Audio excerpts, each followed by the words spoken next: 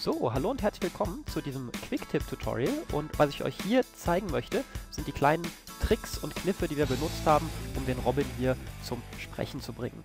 Also das heißt, es wird kein vollständig ausführliches Tutorial über Autolip-Sync. Dazu haben wir ja schon das Tutorial über den sprechenden Baum und das sprechende Auto. Da findet ihr also mehr Details. Hier will ich nur ganz kurz auf so ein paar Besonderheiten eingehen. Und die erste Besonderheit, wenn wir uns den Clip hier angucken, ist die, dass in der ersten Szene der Robin ja von der Seite zu sehen ist und von da spricht.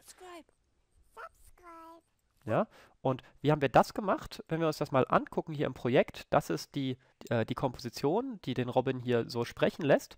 Und das ist also auch mit Auto-Lip-Sync gemacht. Das geht also nicht nur, wenn man einen Mund von vorne hat.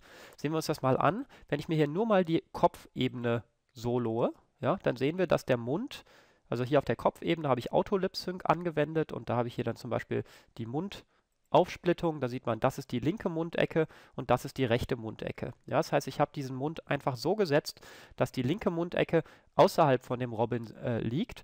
Und wenn ich mir jetzt nur diesen Teil des Mundes ansehe, dann sieht das wunderbar so aus, als würde der kleine Kerl hier sprechen. Ja, das Ganze hat jetzt noch ein paar Probleme, wenn wir hier durchscrollen. Äh, das erste Problem ist natürlich, dass hier dieser Vordergrund, dass hier der, also dass hier dieser Teil des Vordergrundes bestehen bleiben soll und dass sich hier die Pfote nicht mitbewegt. Und die zweite Geschichte ist natürlich, dass wir hier einen Mundinnenraum brauchen. Der Mundinnenraum, der ist auch ganz normal wie immer, hier über irgendwelche einzelnen Ebenen, Farbflächen in dem Fall. Das heißt, ich habe hier einfach zwei maskierte Farbflächen für die Zähne genommen und hier noch eine für die Zunge und die habe ich an die äh, Oberkiefer 0 und Zunge 0, die Autolip-Sync erzeugt hat, einfach äh, drangehängt. Ja, die haben die als übergeordnete Ebene und wie man hier sieht, bewegen die sich auch super mit. Das heißt, die Zunge bewegt sich und die oberen Zähne, da die im Käfer festsitzen, bewegen sich hier natürlich in dem Fall nicht. Zusätzlich haben wir unten drunter noch eine Ebene Mundinnenraum, die einfach das da hinten dran äh, dunkel ausfüllt. Und das sieht jetzt zusammen mit dem Kopf dann so aus. Ja. Der spricht also schon relativ gut. Und das einzige Problem, was wir jetzt noch haben, ist, dass hier eben diese Pfote mit dem Mund mit verzerrt wird und auch dieser Hintergrund hier so ein kleines Loch kriegt, auch wenn das bei dem Hintergrund hier kaum auffällt. Und was ich deswegen noch gemacht habe, ist hier so eine zusätzliche Ebene, das ist eine Matte, da sitzt eine Maske drauf und die habe ich hier grob gerotoscoped, dass die sich hier mit dem öffnenden und schließenden Mund ähm, mitbewegt und diese störenden Teile hier sozusagen einfach wegschneidet. Ja, also die ist mit dem Modus Alpha-Schablone auf die ganze Komposition angewendet. Und wenn ich die mit reinnehme, sehen wir, dass dieser Teil einfach transparent hier ausgeschnitten wird. Okay, das ist eigentlich schon der ganze Trick von der Seite. Also einfach diesen linken Teil wegschneiden und wenn man jetzt diese Komposition nochmal in eine andere Komposition einbettet, äh, wo man das Hintergrundvideo nochmal dahinter legt. Dann hat man an diesen Stellen, wo das Loch ist, wieder den Original-Hintergrund eingefügt und ihr habt einen wunderbar sprechenden Robin. Yes, I know what you think. So, die zweite Szene mit dem Robin ist ja die folgende hier, wo der Mund fast komplett verdeckt ist, aber man ihn trotzdem so ein kleines bisschen sprechen, so ein bisschen den Mund auf und zu machen sieht. Und da könnte man jetzt vermuten, dass man da ja im Grunde gar keinen Auto-Lip-Sync für braucht, sondern das reicht, das so ganz leicht irgendwie ein bisschen zu verzerren oder so. Aber auch das ist mit Auto-Lip-Sync äh, kinderleicht. Und was wir hier gemacht haben, ist folgendes. Im Grunde haben wir einfach einen Mund auf diesen Bereich angewendet, der verdeckt ist. Ja, also das heißt, hier äh, spricht der kleine Kerl einfach. Und dann haben wir oben drüber eine Vordergrundebene gelegt, die diesen Teil einfach wieder verdeckt. Ja, mit einer Maske ist hier einfach so ein Teil, der das nochmal äh, oben drüber abdeckt. Und dadurch hat man also nur diese ganz leichten Verzerrungen hier, die noch andeuten, dass da irgendwas gesprochen wird und was eben auch wieder genau zu dem Gesprochenen passt. Eine Kleinigkeit ist jetzt noch hier, ähm, naja, wenn dieser Mond so verzerrt und, sich da, und dann auf uns zugeht, muss man natürlich gucken, dass das Material, was dann hinter diesem Vorsprung hier sichtbar wird, wirklich noch zu dem kleinen Robin gehört.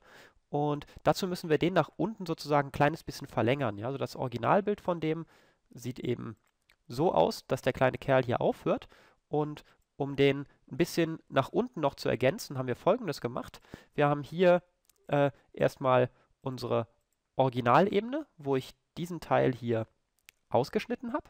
Und dann habe ich unten drunter eine Kopie genommen, gelegt und die einfach ein bisschen nach unten verschoben. Ja? Man sieht hier also, wenn ich ähm, die jetzt mal an- und abschalte, diese zweite Kopie ist einfach ein Stück nach unten verschoben, was dazu so, dafür sorgt, dass dieser Kerl hier nicht 100% akkurat, aber so, dass es reicht, ein kleines bisschen nach unten vergrößert wurde. So, jetzt haben wir also den nach unten verlängerten Robin, auf den wollen wir jetzt diesen ähm, Effekt äh, von dem Auto-Lip-Sync anwenden und der soll jetzt ja nicht entweder auf die eine oder auf die andere Ebene angewendet werden, sondern auf das Resultat von beiden. Das heißt, ich könnte diese beiden hier in eine Unterkomposition verschieben. Was ich stattdessen gemacht habe, ist den Mund oben drüber auf eine Einstellungsebene anzuwenden. Ja, das heißt, wenn wir die jetzt noch mit dazu nehmen, sehen wir, hier ist jetzt der sprechende Mund und dann habe ich hier eben den Original-Vordergrund in diesem Bereich einfach nochmal drüber gelegt und schon haben wir unseren Robin, der halt ganz angedeutet nur leicht hinter diesem Vorsprung spricht. Subscribe to Mamaverse YouTube channel. Subscribe. That's why I'm talking here. Subscribe. Subscribe now. In der dritten Szene bleibt Robin hier zuerst wunderbar ruhig stehen und danach springt er hier also wild durch die Gegend und spricht währenddessen. Und das ist natürlich auch eine Sache, die erstmal nicht ganz so einfach ist, ähm, weil man eben diese Bewegung ständig ähm, nachverfolgen muss sozusagen. Das ist eine Bewegung, die auch sich in Mocha nicht mehr gut tracken lässt, weil da eben jeder Frame total anders aussieht äh, als der vorherige. Und da habe ich noch mal eine andere Technik benutzt für diesen ersten Teil hier, wo der Robin also relativ ruhig steht. Da habe ich eine stabilisierte Unterkomposition erzeugt und dann innerhalb der stabilisierten Unterkomposition einen Mund gemacht. Ja, da kommen auch so kleine Zähne und eine Zunge zum Vorschein und so. Das ist alles innerhalb dieser stabilisierten Unterkomposition gemacht. Das ist genau wie in dem Tutorial über den Porsche. Deswegen will ich da hier nicht mehr genau drauf eingehen. Hier konnte man den kleinen Kerl eben auch toll trecken, weil er sich fast nicht bewegt. Und dann kam hier dieser Moment, wo der sich eben ganz wild hin und her bewegt, hier mal kurz stehen bleibt und hier jetzt den Mund schwenkt und so weiter. Und das ist also was, da bringt einem auch eine stabilisierte Unterkomposition nicht mehr viel, weil das eben nicht vernünftig zu trecken ist. Und da habe ich jetzt folgendes gemacht. Ich habe hier auf einer Einstellungsebene über meinem Original-Clip, ja, das ist also der Clip mit dem Robin hier, und ähm, das ist jetzt eine Einstellungsebene oben drüber. Da habe ich Auto-Lip-Sync drauf angewendet und habe aber diese ganze Geschichte mit äh, Mundform gerade machen und dann den geöffneten Mundformen und den geschlossenen Mundformen habe ich einfach überall auf Weiter geklickt, weil ich diese ganzen Effekte gar nicht haben wollte. Als der Assistent fertig war, habe ich also dann einfach alle Effekte, sieht man hier, deaktiviert, bis auf die Mundaufsplittung. Und was, wozu das führt, ist, dass ich hier einfach nur so einen Aufsplittungseffekt habe, der meinen Mund auf und zu macht. Und da habe ich diese linke und, Ecke, äh, linke und rechte Ecke. Ja, wenn ich hier reingucke, ist jetzt dieser Punkt A und Punkt B. Die kann ich keyframen und genau das habe ich hier an dieser Stelle gemacht. Ich bin jetzt hier wirklich Bild für Bild durchgegangen und habe hier diese linke und rechte Mundecke immer dem Mund nachverfolgen lassen. Das ist ein kleines bisschen Handarbeit. Aber es muss auch nur da stimmen, wo der Mund wirklich sich öffnet. Das heißt an dieser Stelle hier und hier.